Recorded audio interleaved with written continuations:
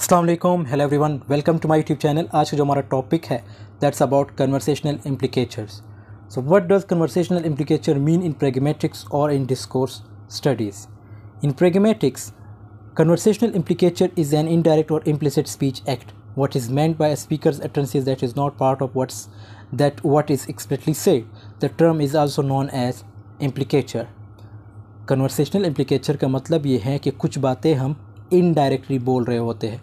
और बहुत सी ऐसी बातें होती हैं जो हम डायरेक्टली लोगों को नहीं कर सकते और इनडायरेक्टली जो है कुछ अटेंसेस बोल रहे होते हैं।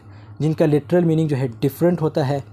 मीन्स जो लिटरल मीनिंग है या जो एक्चुअल मीनिंग है वो डिफरेंट होता है। मसलन आप एक रूम में बैठे हो और कहते हो कि बहुत सर्दी है और आप उस वक्त इम्प्लिसिटली ये कहना चाह रहे हो कि क्लोज़ द विंडो या क्लोज़ द डोर तो ये ज़्यादा इफ़ेक्टिव है।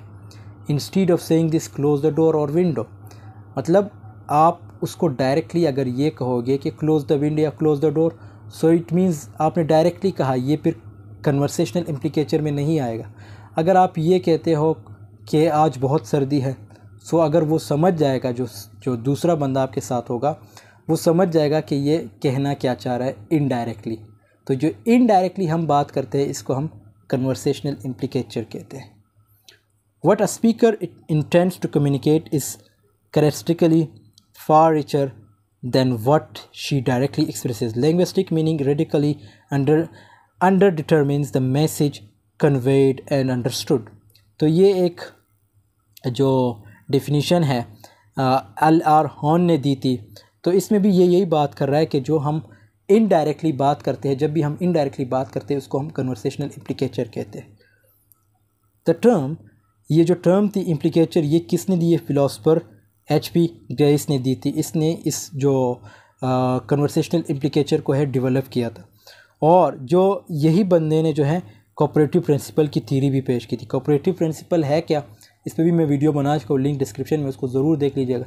बहुत ही इंटरेस्टिंग वीडियो है कोऑपरेटिव प्रिंसिपल से related the philosopher H P Grice first suggested that in conversation we often convey information beyond that watch we that watch which we say and that this added meaning is inferred and predictable he referred to this as conversational implicature तो ये इसने अपनी definition दी थी conversational implicature के हवाले से this happens when the speaker says something that requires interpretation and is an indirect way of saying something यहाँ भी देखो indirect word यूज़ हुआ है मतलब इनडायरेक्टली जब आप किसी से बात करते हो उसको हम कन्वर्सेशनल इम्प्लीकेचर कहते हैं in implicature we observe how intended meaning goes ये एक और डिफिनीशन है। इसी तरह ये दूसरी डिफिनीशन है। Implicature is an indirect speech act it means that the meaning express by the speaker is sometimes not directly encoded in words implicature could be called an additional conveyed meaning तो इसका ये दूसरा नाम भी है additional conveyed meaning जैसे, Naveed would you come to my brother's marriage tonight अब मुमताज़ ने क्या जवाब दिया? नवीद ने सवाल किया मतलब मुमताज़ क्या कह रहा है? आई एम इल और I have my exam tomorrow अब यहाँ पे आप देख सकते हो at surface level it seem that Mumtaz has not answered correctly like yes और नो मुमताज़ को जवाब क्या देना चाहिए था? यस या नो जवाब देना चाहिए लेकिन उसने आगे से इनडायरेक्टली क्या कहा? कि मैं बीमार हूँ या मेरा कल जो है एग्ज़ाम है। But the question here is how is Naveed able to identify the meaning that is not present in the literal meaning of a sentence Naveed को कैसे पता चला कि ये जो है मतलब डायरेक्टली ये नहीं कह रहा इनडायरेक्टली ये बता रहा है? तो इट सीम्स इसका आंसर ये है it seems to depend on an assumption that Mumtaz is relevant relation and informative quantity तो मुमताज़ जो है इंफॉर्मेटिव मीन्स जो हमने कोऑपरेटिव प्रिंसिपल में चार प्रिंस जो मैक्सिम पढ़े थे, उसको ज़रूर आप लोग देख लीजिएगा। ये वो जो है यूज़ हुई है क्वांटिटी यूज़ हुई है। उसमें एक क्वालिटी थी, एक क्वांटिटी थी। दो और प्रिंसिपल्स थे रेलिवेंट थे, एक और था। तो वो आप लोग देख लीजिएगा, आपको ईज़िली समझ आ जाएँगी। How is the weather today you should bring your umbrella अब उसने वेदर की बात की ए ने। लेकिन बी ने क्या जवाब दिया? You should bring your umbrella not directly said in words that is it is running अब डायरेक्टली उसने ये नहीं कहा कि बारिश हो रही है। उसने इनडायरेक्टली कहा कि आप अपने साथ अम्ब्रेला लेकर आ जाइए, क्योंकि बारिश हो रही है। Let's go for lunch I have a meeting again indirectly बात हो रही है। A and B are in the sitting sitting room with T V on अब ये एक और एग्ज़ाम्पल है, ये आप लोग पढ़ लीजिएगा। इसी तरह इन द क्वेश्चन ये उसकी पूरी एक्सप्लेनेशन है, आप लोग देख लीजिएगा। Based on the situation the reference we can make from अब ये सारी जो है सिचुएशन को जो है रेफ़र कर रहा है। तो आप लोग इसको पढ़ लीजिए, क्योंकि जितने एग्जांपल्स जो इजी एग्जांपल्स थे वो हमने पिछले स्लाइड्स में पढ़ लिए थे। तो ये पूरी पूरी एक्सप्लेनेशन है एग्जांपल्स की। इसके टाइप्स क्या है हमारे पास? जो पहला टाइप है, वो है particularized conversational implicatures the intended reference depends on particular features of the specific context of the utterance, or it happens when a conversation takes place in a very specific context means in a particular way. Particularized conversational implicature का मतलब ये है कि जब हम specific context में बात करते हैं, या पर्टिकुलर वे में बात करते हैं, जो स्पेसिफिक कंटेक्स्ट है, वो कोई वर्ड्स भी हो सकते हैं, कोई मतलब सेंटेंसेस भी हो सकते हैं। इसका एग्जांपल हम देखते हैं ताकि आप लोगों को समझ आ जाए। Hamza, wow has your boss gone crazy Aamir let's go for coffee अब ये इनडायरेक्टली सब कुछ चल रहा है। मतलब उसने क्या कहा और वो क्या जवाब दे रहा है? Hamza walk to Aamir office and noticed all the work is on the desk he has addressed Hamza without realising that his boss is in some corner of the office अब यहाँ पे क्या होता है? हमज़ा को ये नहीं पता था कि मेरा बॉस जो है ऑफ़िस के किसी कॉर्नर में बैठा है और मुझे सुन रहा है। सो so, यहाँ पे किस मीन्स एक स्पेसिफिक कंटेक्स्ट में हमने ये बात की कि मतलब हमज़ा ने ये जो बात कही है I am going to prison tomorrow well two hundred D H S do A is visiting a detain and proposing to be to help in finding the shopping for that detain may be his relative is in jail और research base E T C अच्छा यहाँ पे जो important चीज़ वो है क्या? कि जो पार्टिकुलराइज कन्वर्सेशनल इम्प्लिकेचर हैं, उसके लिए आपके पास बे की इंफॉर्मेशन होना बहुत ज़रूरी है। बे की इंफॉर्मेशन से मुराद मतलब आपको उस चीज़ की नॉलेज होना बहुत ज़रूरी है। अब यहाँ पे कि दो सौ रुपये से गुजारा हो जाएगा, जेल को जो है उन्होंने क्या किया है? ये जेल जो वर्ड है, इसको पर्टिकुलराइज्ड कर रखा है। क्या तुम्हारे पास शॉपिंग के लिए दो सौ रुपये पड़े हैं? उससे गुजारा हो जाएगा। तो इसमें एक चीज़ आप लोगों ने नोट करनी है कि जो जेल जा रहा है I am going to prison tomorrow अब इसका ये मतलब नहीं कि ए जो है वो जेल जा रहा है।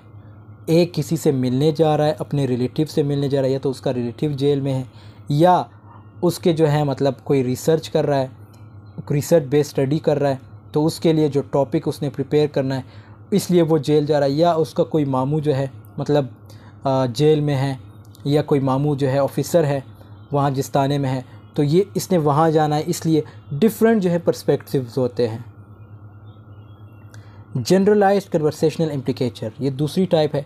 This type of diff influence doesn't depend on a particular feature of the context but is instead typically associated with the kind of proposition being expressed और दूसरी डिफिनेशन इसकी ये है in this conversation there is no specific background in knowledge of the context of the utterance in order to make the necessary inferences जो पहला type था, उसमें हमारे पास जो थी इंपॉर्टेंट क्या थी कि हमारे पास बैकग्राउंड नॉलेज होनी चाहिए किसी भी चीज़ को डिस्कस करने के लिए।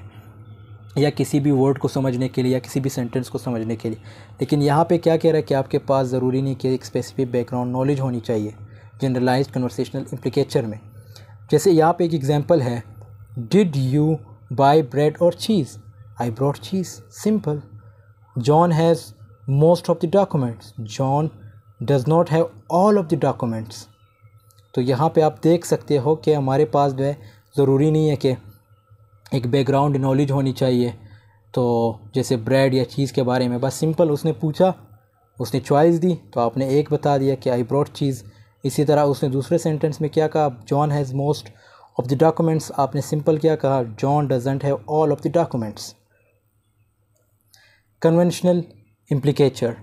Grace identified another type of inference uh, which he called conventional implicatures, but he said very little about them and never developed a full blown a full blown analysis. लेकिन इस पे ज़्यादा इसने काम नहीं किया था conventional implicature पे Conventional implicatures are a part of the conventional meaning of a word or construction This means that they are not context dependent or pragmatically explainable.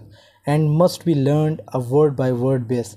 However, unlike the kinds of lexical in, uh, entailments, it is associated ये इसकी दूसरी definition है with words and results in additional conveyed meaning with these words are used, like, यहाँ पे conventional implicature में क्या है? एक तो इसने ये जो फ़िलासफ़र थे ग्रेस इसने ज़्यादा काम इस पर किया नहीं।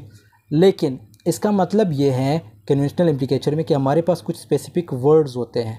जैसे यहाँ पे वर्ड्स कौन से हैं? After but yet both and even तो ये हमारे पास कुछ स्पेसिफिक वर्ड्स है। जो कि क्या करते हैं एडिशनल जो है कन्वेड मीनिंग जो है प्रोवाइड करते हैं हमें। और ये जो है कंट्रास्ट क्रिएट करते हैं। ये जो वर्ड्स यहाँ पे मेंशन किए गए, ये सारे क्या करते हैं? कंट्रास्ट क्रिएट करते हैं किसी भी सेंटेंस में। जैसे यहाँ पे क्या है? Even Barrett passed the test even क्या है हमारे पास? ये कन्वेंशनल इम्प्लीकेचर है। इसी तरह Barrett was among the least likely to pass the test तो ये उसकी पूरी एक्सप्लेनेशन होगी she put on her clothes and left the house after after क्या है हमारे पास?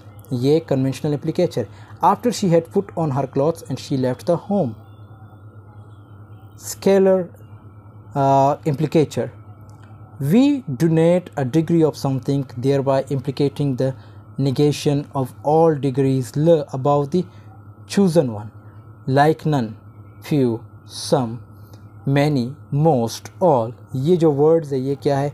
ये स्केलर इम्प्लिकेचर है। I had some butter scones for tea so thanks for watching I hope this video has been helpful for you मिलते हैं next video में, तब तक के लिए अल्लाह हाफिज़ take care of your self